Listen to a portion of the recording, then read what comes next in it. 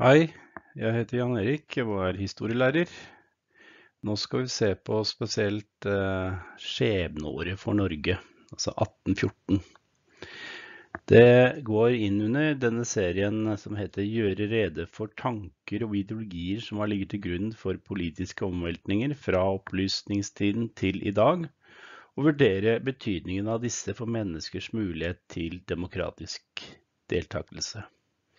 Og nå skal vi også se på liksom, altså Vi skal utforske hvordan mennesker har arbeidet for myndiggjøring og frigjøring i norsk og samisk historie, og gi rede for hvordan de samtidig har bidratt til utviklingen av demokratiet. Det betyr f.eks. at eh, i 1814 så fikk menn eh, over en gitt eh, altså alder stemmerett. Og det går i myndiggjøringa. Altså det er første si, tegnet på det i norsk historie.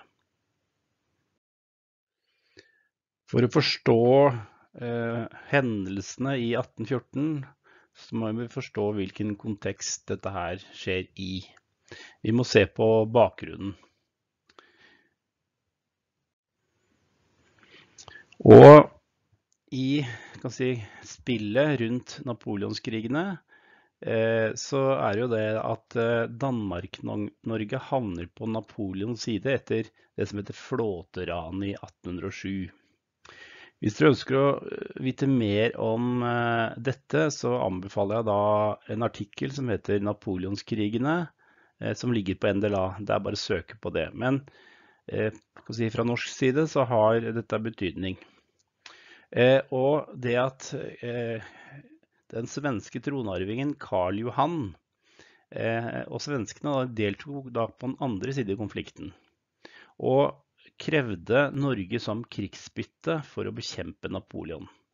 Til venstre så ser dere da eh, svenske styrker i dette slaget ved Leipzig. For svenskene deltok der eh, og bidro til Napoleons fall.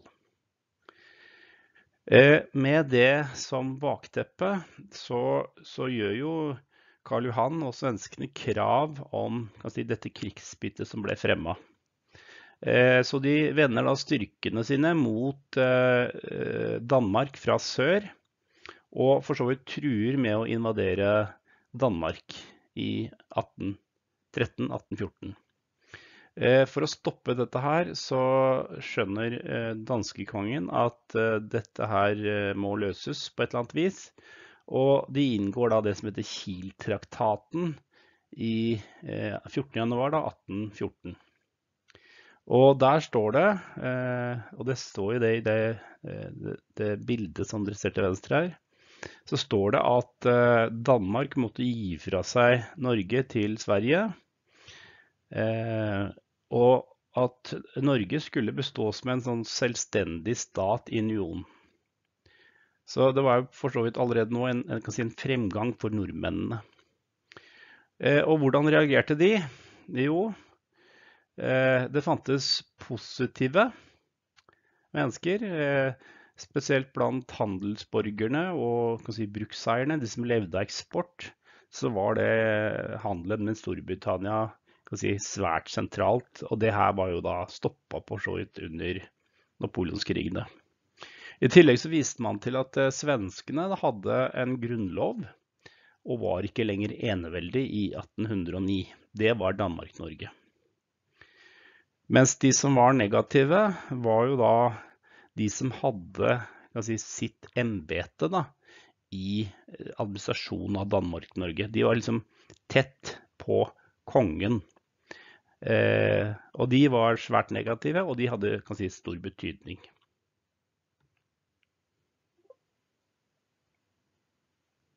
Nå skal vi se litt mer spesifikt på denne Kiel-traktaten. Fordi eh, mannen til høyre her, han er da dansk tronarving. Han heter Christian Fredrik. Eh, han har blitt stattholder i Norge året før. Eh, og han eh, måte, prøver å vekke motstand mot denne Kiel-traktaten og innkaller til det som kalles et stormannsmøte hos en av de rikeste da i 1814, Karsten Anker, som har et jernverk på Eidsvoll. Eh, og han spiller inn at han ønsker å bruke arveretten. Men jeg kan si blant disse stormennene som møter der, så, så, mener man at dette må du ikke gjøre, for det vil ikke få støtte i befolkningen.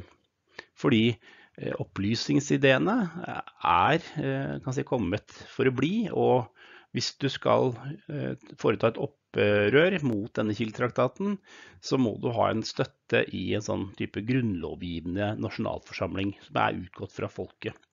Må støtte seg til folkesuvereniteten. Eh, og da blir man enig om at eh, man skal eh, holde si, eh, valg eh, til eh, sånne valgmenn som skal da reise til Eidsvoll og for så vidt etablere en grunnlov.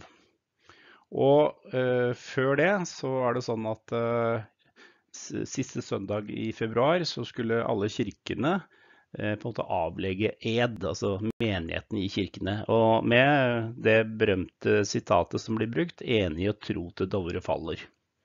Og så starter det da på en måte sånne type, et type valg, hvor noen da skal til Eidsvoll.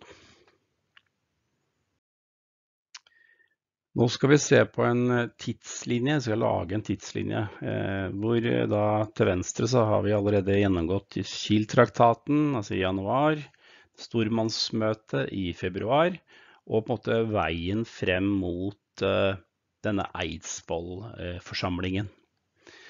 Uh, og det er jo han her, Christian Fredrik, som er dansk tronarving, som, uh, som da måtte står opp, da, for, opp imot da, denne Kiel-traktaten, og får etter hvert da støtte av en del stormenn i Norge. Eh, så nå skjer det sånn at eh, de skal da eh, velge representanter til Eidsvollforsamlingen. Det er da blir gjort da i kirkesognene. Enkelte byer hadde sendte sine representanter, men også i militære avdelinger. Og i løpet av april, altså tidlig april, så samles denne riksforsamlingen. Og der så deler si, valgmennene seg på sett og vis, naturlig nok, da, opp i si, to hovedfløyer. Det er de som kaller seg Selvstendighetspartiet, som det skal vise seg da, å være i flertall på Eidsvoll. De representeres av eh, embetsmennene som har vært si, tidligere tilknytta eh, den dansk-norske helstaten. Og, og, bøndene. Altså mange av bonderepresentantene kan si, gikk for denne selvstendighetslinjen. Og eh, eh, det de ønska, var eh, si, å fortsette denne selvstendighetslinjen og, eh, og få Norge fritt i 1814 eh, og velge Christian Fredrik til norsk konge. Så har vi et mindretall av det som blir kalt Unionspartiet. De ser Kiel-traktaten som bindende Eh, og noe Norge må forholde seg til. Eh, og de, de, mener at eh, det viktigste her i denne sammenhengen er da å få etablere det indre selvstyret i Norge, som for så vidt Kiel-traktaten legger opp til.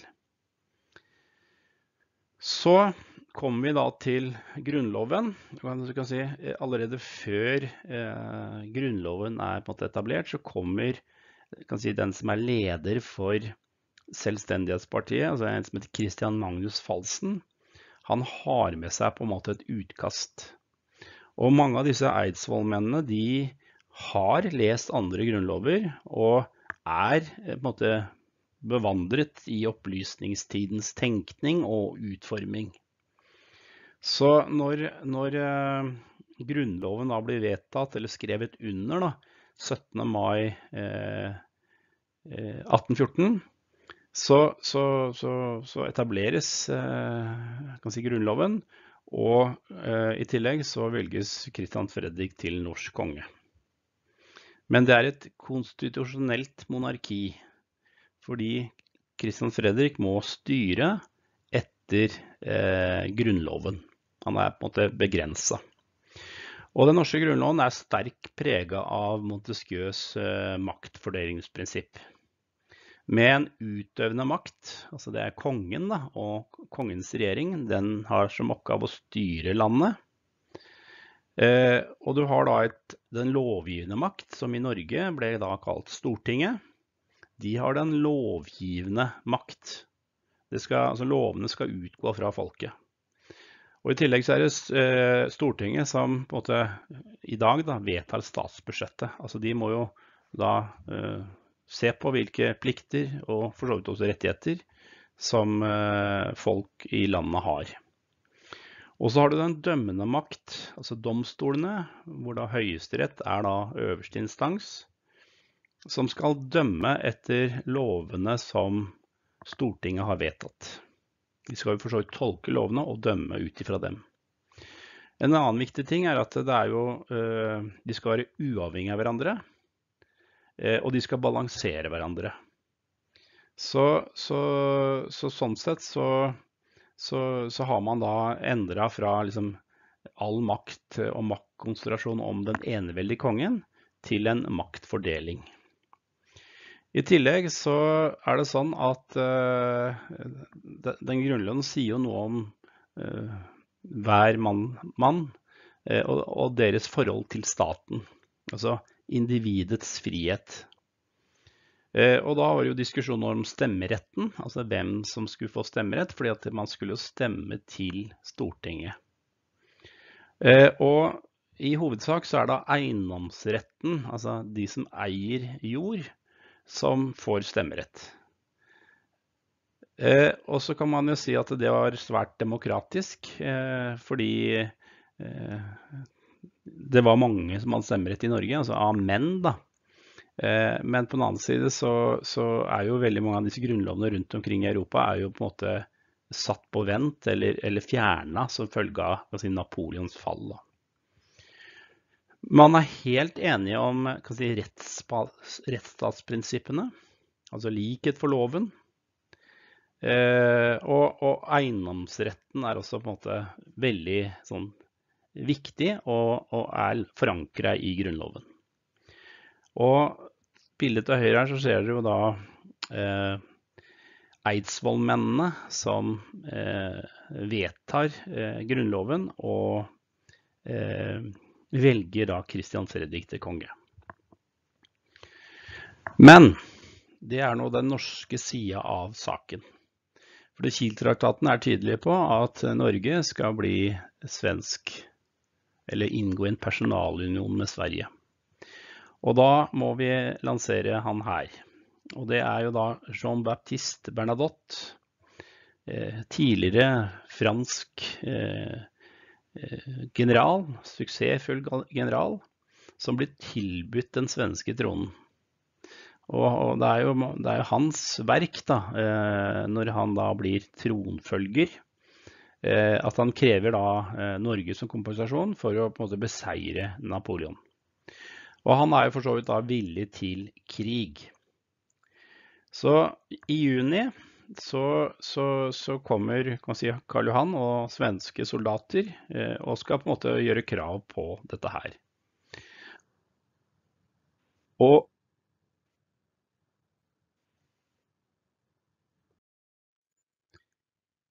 Krig blir det. Eh, som det står her, med stormaktenes støtte var Karl Johan villig til å gå til krig for å tvinge gjennom Kiel-traktatens bestemmelser. Eh, og det var militære trefninger. altså Det var ikke noe, noe storkrig å snakke om ennå. Eh, og, og, og, man ønsker vel egentlig eh, en eller annen fredelig sammenheng. Altså at man løser konflikten fredelig. Eh, og én ting som på en måte er helt klart, er jo at Christian Fredrik eh, har tapt. Eh, og det kommer da til det som kalles Mossekonvensjonen i august 1814. og da måtte Norge akseptere si, union med Sverige, og Christian Fredrik måtte abdisere. Så det det handler om nå, er jo da at eh, altså, hva kan nordmennene få ut av dette her? Og det kaller vi da Mossekonvensjonen. Og jeg tror at eh, nordmennene, altså de norske utsendingene, de, de, de spilte kort, korta sine riktig. Eh, fordi de tvang f.eks. igjennom at Eidsvollgrunnloven skulle være utgangspunkt for forhandlingene. At det heller skulle være en justering av selve grunnloven. Eh, og, og, og nordmennene ble for så vidt enige om at Norge skulle gå inn i en personalunion med Sverige. Men det som skulle på en måte binde unionen, det var da en felles konge og en felles utenrikspolitikk. Og når de da måte, forhandler, så kommer det opp en del ting som måte, etter mitt skjønn fall, er til fordel for Norge. Og det er da eh, Norges første stortingspresident, eh, Wilhelm Koren Christi. Det er han som på en måte leder forhandlingene på nordmennenes vegne. Og denne grunnloven som ble etablert i mai, 17. mai, da, da var kongemakten veldig sterk. Han kunne på sett og vis eh, Eh, erklære krig uten Stortingets samtykke. Mens i de forhandlingene så, så var det sånn at eh, svenskekongen, altså Karl Johan etter hvert, da, kunne ikke eh, starte en angrepskrig uten at det fikk støtte i Stortinget. Så kunne, nordmennene kunne si nei. Det er en sånn svært viktig si, del, og derfor er jo på sett og vis novembergrunnloven eh, viktigere sånn, eh, enn 17. mai-grunnloven hva gjelder folkesuverenitet. Og det det handla om videre, var jo for så vidt da denne altså, tilpasninger til denne nye eh, opplegget mellom Sverige og Norge. Og det her blir liksom fullbyrda i det som kalles Riksakten av 1815, hvor da som sagt Norge og Sverige var i union med felles konge- og utenrikspolitikk, men Norge hadde et eget selvstyre gjennom Grunnloven. Nå skal vi se litt på, på tiden etter 1814, altså det vi kaller norsk selvstyre. Eh, og det er jo disse embetsmennene, eh, og f.eks. da Eh, Wilhelm Koren Christi, som ser bildet her, som spilte en betydelig rolle i disse forhandlingene med svenskene, de, de, de har si, stor betydning for norsk selvstendighet eh, i det første tiåret i hvert fall. Eh, fordi jeg tror Karl Johan han vil så gjerne en måte at Norge og Sverige skal bli et broderfolk og knytte unionen tettere mens nordmennene har andre ambisjoner. Og det er disse embetsmennene som er, er, det si, naturlige eh, lederskapet som, som, begrenser de mulighetene når de får mulighet til det. Da. Og det her blir kalt grunnlovskonservatisme. Eh, og alle forsøk på å begrense Stortinget Altså at kongemakta skal bli sterkere på bekostning av Stortinget, det blir nedstemt så godt det er mulig. Eh, og, og, det er disse embetsmennene som på en måte sitter på Stortinget, veldig mange av de, eh, og, og, og, jobber iherdig for å på en måte sikre Grunnloven.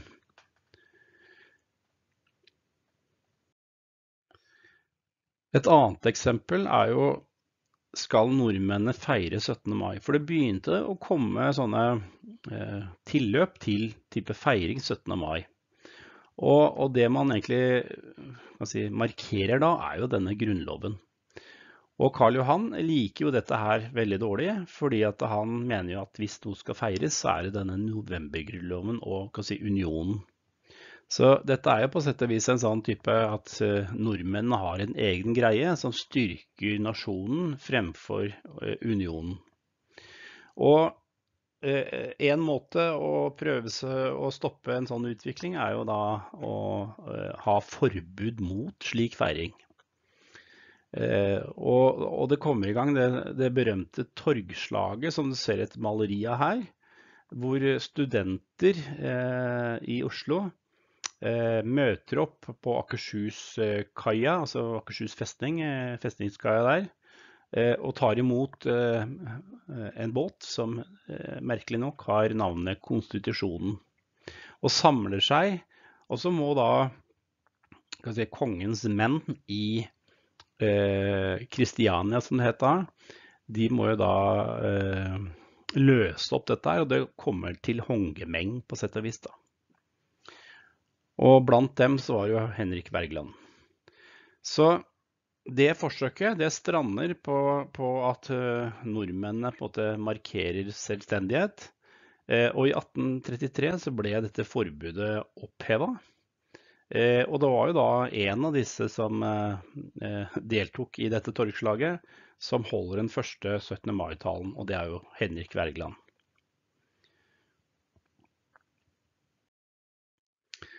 En annen viktig ting det er at eh, klart blant bøndene så er det stor skepsis mot unionen. De ønsker på en måte egentlig selvråderett over lokalpolitikken og lokalsamfunnet.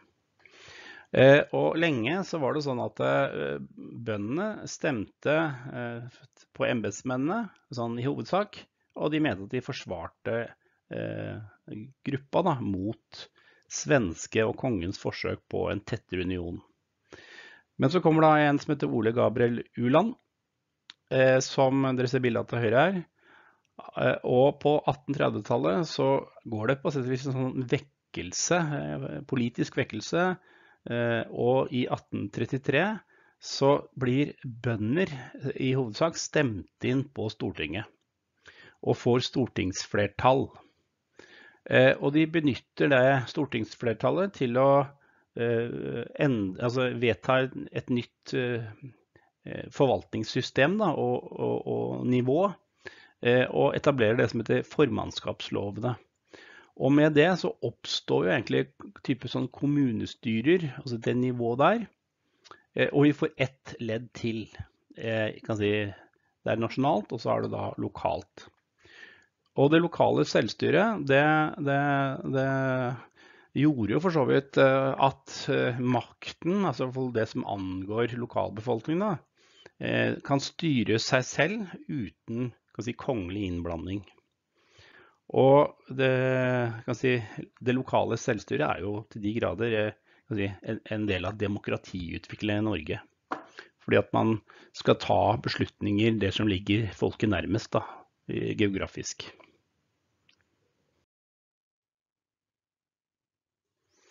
Til slutt så kan vi jo se på noen sånne viktige problemstillinger. Det kan være gunstig å se på si det som fører fram til unionen, altså hvilke hendelser førte fram til unionen med Sverige. Eh, I tillegg så er det kanskje viktig å få med seg da, eh, altså, den norske grunnloven. Hvor, hvor, kommer den fra? Hva henter den inspirasjon fra? Hvilke opplysningsideer finner vi i den norske grunnloven? Og så er det for så vidt også viktig, siden vi da feirer 17. mai, og, eh, hva betyr Grunnloven for deg? Det kan reflektere litt rundt det.